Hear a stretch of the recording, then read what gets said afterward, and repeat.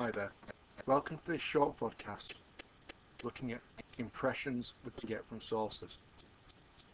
Here we've got a source that could well be in the June 2014 exam. It's a painting showing William Morton performing an operation in Boston Hospital in the United States of America using ether for the first time. So what impression can we get? Well, if we look very very carefully, we start to make some quite interesting inroads. First off, the impression we can get is that it must have been something of a novelty because we've got lots of people all staring in at the operation. Notice that these two people here, the patient, the surgeon and the patient, are the centre of attention. We can see the interest in people's eyes as they look at the operation. This man here clearly is very excited about it. He's got out of his seat to have a look.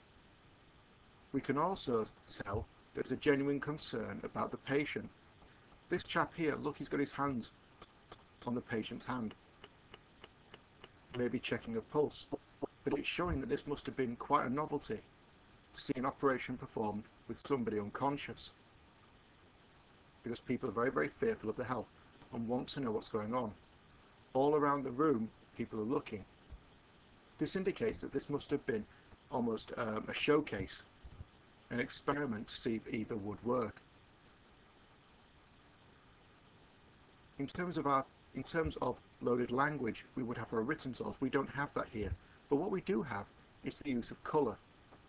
Notice at the, at the front, it's all very, very sterile and white.